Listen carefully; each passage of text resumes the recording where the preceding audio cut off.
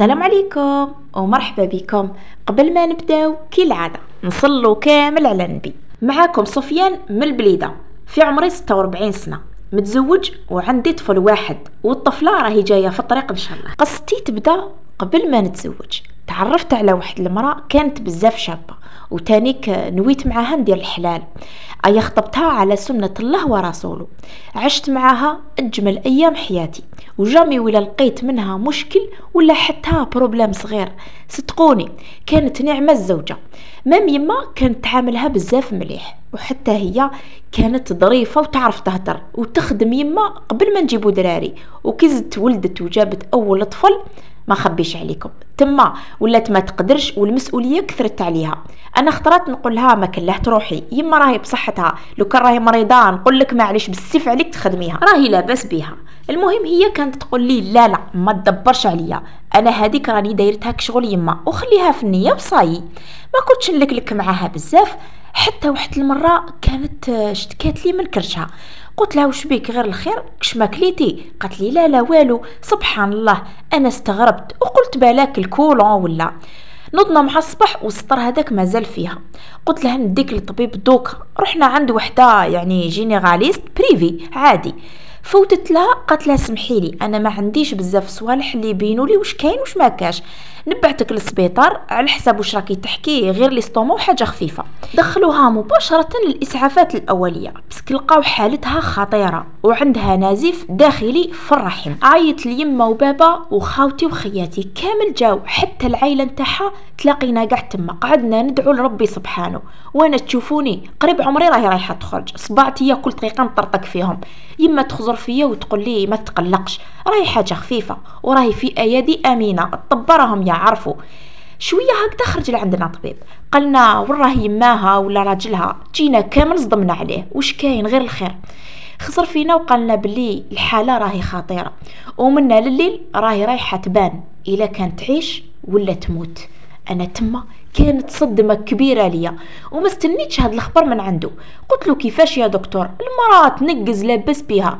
شاف فيا وقال لي المشكل هذا وقع لها كي ولدت. وحسب ظني هي ما كانتش دير les contrôles موراها. على هذا تفاقمت حالتها ودرك منا العشية راهي تبان. ادعوا لها كامل نخلوها في يد ربي سبحانه. ومعجزة الله راهي كبيرة. قعدنا صابرين ومحيرين. يما تبكي يماها قلبت الحالة داخل سبيطار. وليدي الصغير كان داخل بوخت بيبي محطوط تما فوق الكرسي. نسيتو كامل مسكين. أي قعدت نحوس على هذاك الطبيب حتى لقيته قلت له حبيت نشوف مرتي الله يخليك. إلا كانت راح تموت أو ما نشوفها النظرة الأخرى.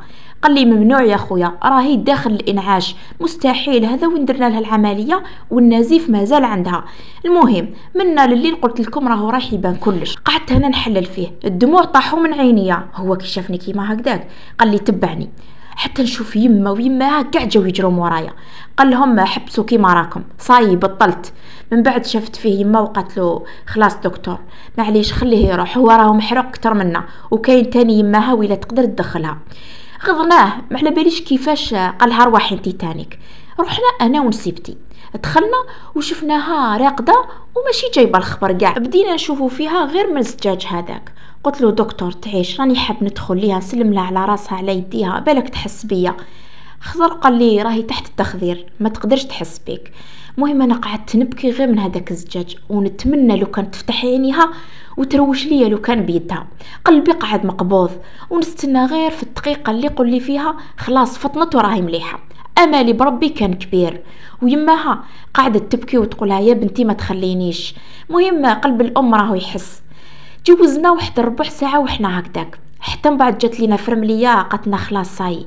روحوا من هي تعيشوا. دوك يبداو يجوا الناس ويغيظهم الحال كي ما ندخلوهمش. راهي ممنوع. ما على باليش كيفاش الطبيب خلاكم تدخلوا. رحنا وقعدنا نستناو في هذوك الكراسة على برا. لحق 12 نتاع الليل.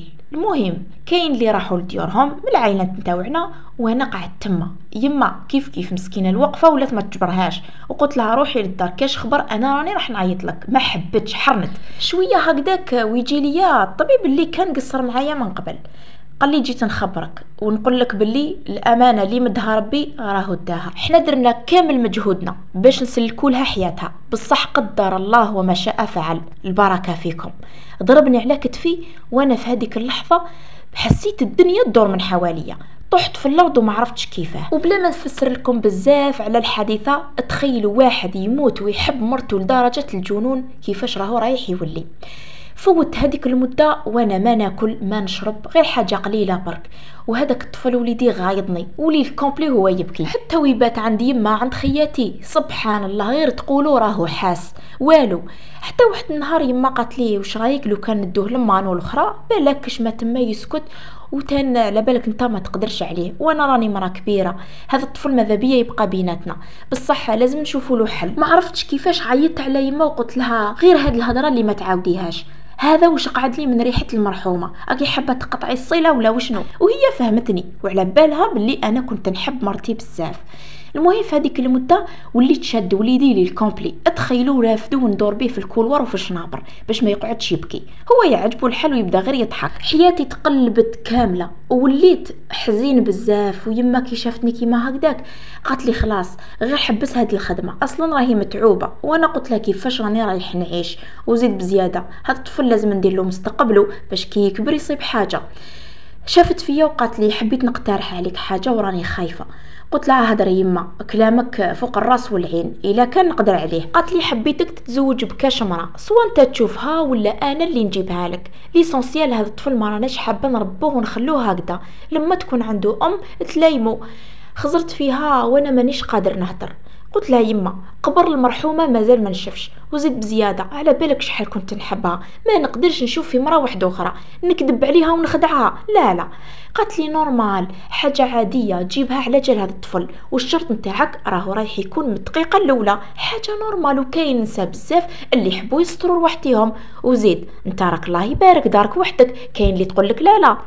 كلامها قنعني وقلت لها خليني نفكر puisque ما رانيش حاب ندير أي خطوة ونندم عليها من بعد. دخلت لداري وبديت نتفكر في كامل les souvenirs اللي كانوا معاها. شديت حوايجها وقعدت غير نبكي ما عرفتش كيفاه. رقدت على هذيك الحالة. من بعد جاني في المنام كي شغل مراه وبدات تدور الدور وشادة في يدي. المهم ما عرفتهاش إلا كانت مرتي ولا مرا واحدة أخرى ولا بالك أحاسيس وتطبقوا في المنام نط مع الصباح ودعيت في صلاة الفجر لربي سبحانه. وثانيك صليت استخارة باش إلا كان أي حاجة راني ناوي نديرها الله هو اللي سهل لي. شهور قليلة جات يما عاودت فتحت معايا الموضوع وقالت لي كاين واحد المرأة راني عرفتها من عند جارتنا. وتانيك راهي مطلقة وما عندهاش دراري ومعيشتها جوزتها في la souffrance مع هذاك الراجل غبنها بزاف وما على باليش قصتها كيفاه دايرة. المهم إلا راك حاب نروح ليها ونحكي معاها كلش ونعطيها شروطنا وهي تعطينا شروطها. اللهم بارك. وإلا ما راكش موافق قل لي من دركا طفلة ولا غير عجبتني وتبان بنت ناس.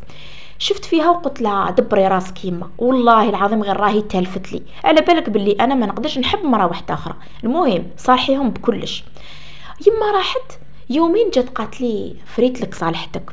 والمراه هذه راهي قابلة بكاع شروطك. وتانيك قالت لنا نقدر نجيك بلا مهر عادي راهي حابه تستر روحها راهي متلقة والهضرة كثرت عليها. المهم أنا على جال ولدي وافقت بصح الحاجة اللي قعدت مصدوم منها كيفاش كاين مرا تتزوج مع واحد يديرها كي شغل خوها في الدار وخديمة لولدو. درنا العرس نتاعنا بسيط مدينا جفنا طعام للجامع والجيران حاجة خفيفة. أما بالنسبة للدراهم والمهر ما غبنتهاش عطيت لها كيما أي امرأة تكون راح تتزوج. بصح العرس راكو تعرفوا ما كاش كاع كيفاه هي دخلت وكانت بزاف فرحانة. ليلة عرسنا كنت شفتها أول نظرة. هي كانت شابة وتبان بزاف كالم وهادية.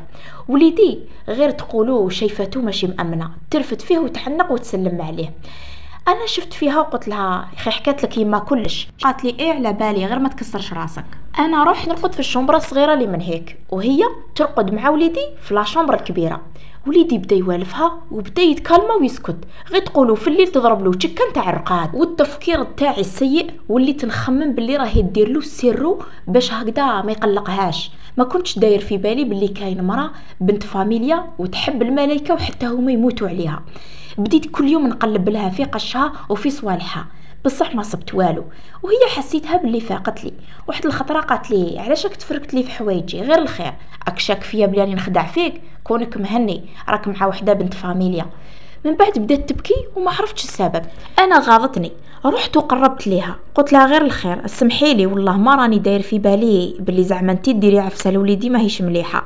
قالت لي علاش ما ترقدش هنا معايا وتشوف كلش بعينك؟ قلت لها أنا نداير فيك الثقة. بصح الاقتراح تاعك عجبني. نرقد هنايا هكذا باش نشوف لأنه مصلحة وليدي أقبل منك. حسيت باللي كلمتي جرحتها. شفت فيا وقالت لي عيب عليك دير لي كيما هاك. يا أخي على بالك وشروطنا واضحين المهم جاني حتى إحساس في هذاك النهار.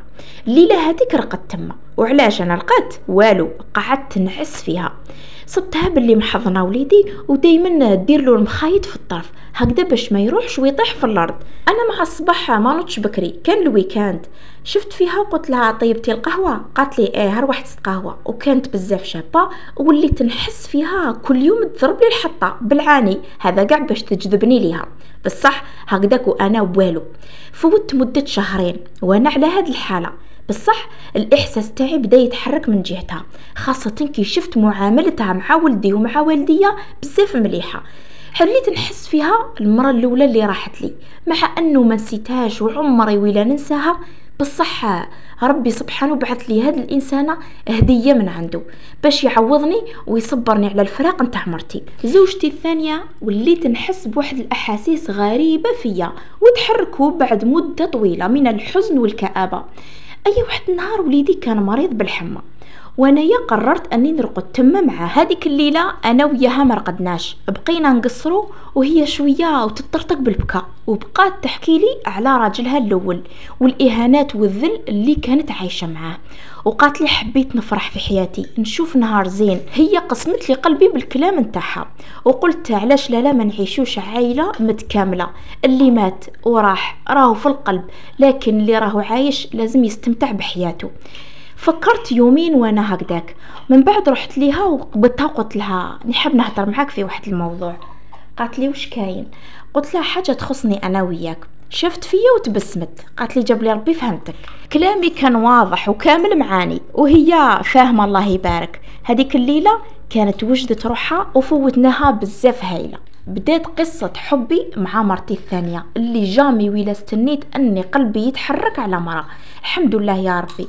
وليدي قعد يكبر ما بيني وبينها ومعاملتها الزينة كل يوم تزيد أكتر حسيت ربي عوضني ورزقني بحاجة ما كنتش نتصورها. هي خرجت من الحزن نتاعها وحتى أنا نفس الشي ربي بعد مدة قليلة افتح عليا ورحت سافرت أنا وياها لتونس.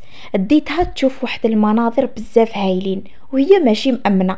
قالت لي جامي استنيت هاد الحياة راح تكون أنا وياه كي ولينا للبلاد سمعت باللي يما راهي مريضة بزاف. تما كانت فارقة الحياة توفات تدعو لها كامل بالرحمة. صراحة الجرح حسيته عاود حياة من دارا وجديد. الموت بزاف مرة على العبد. بصح الحمد لله اللي لقيت مرا كيما هي.